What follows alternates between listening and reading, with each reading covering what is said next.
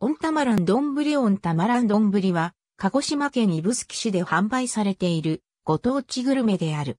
2009年4月1日に誕生した指宿市の新たなご当地料理で、各店舗独自の食材に砂蒸し温泉を使用して、作った温泉卵を添えた丼料理。温泉で有名な指宿に新たな目玉を作ろうと、JR 指宿駅で郷土料理店を営む店長が発案。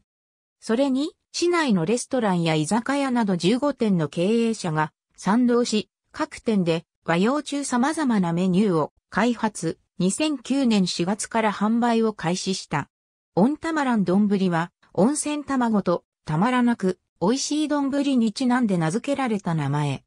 使われる卵は、特産のカツオの頭を砕いた粉と、さつまいもを餌に使った鶏の卵を、市内の源泉で茹でたものに限定している。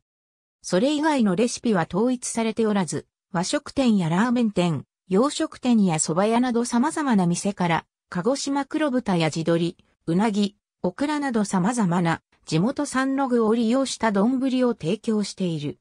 2009年にオンタマラン、丼を提供する10点を制覇すれば、携帯電話用の特製ストラップがもらえるスランプラリーを開始。2011年にはオンタマラン、丼を提供する店舗を掲載するガイド誌を作成している。2012年2月に行われた S-1 グルメグランプリ本大会では3位にランクインした。ありがとうございます。